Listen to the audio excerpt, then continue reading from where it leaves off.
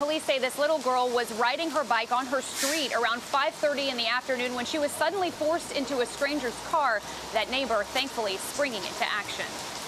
Stay right there. Stay right there. You're watching police body camera video of the moment a six-year-old girl was rescued from her alleged kidnapper.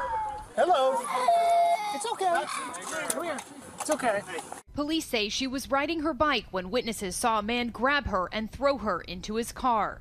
Parks his car, middle of the road, gets out, uh, picks up a little girl off her bike on the sidewalk, throws her bike, throws her in the passenger seat, and he just, you know, takes off.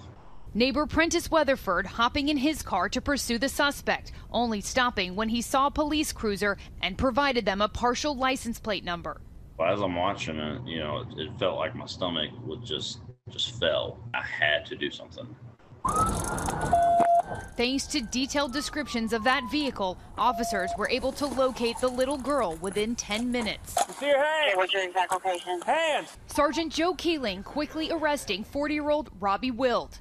You feel that fear that the child probably has in them, and you just you want to get to them as quick as you can and remove them from this situation to try to limit the trauma to them as much as you can. And luckily, we were able to find her pretty quick. Officer Jason Burba taking the young girl out of the passenger seat, carrying her to safety.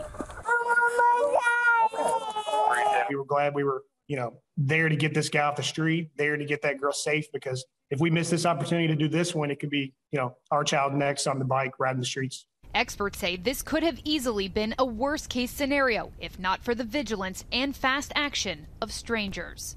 That's the reason this child is home with their family safe tonight because the public out there, they saw something, they said something, they did the right thing. They sure did. And police say that that little girl was unharmed. She is now, as you heard there, back home safe with her family. The suspect has pleaded not guilty. Guys. So glad there was a happy ending in that story. Okay, Ariel, thank you so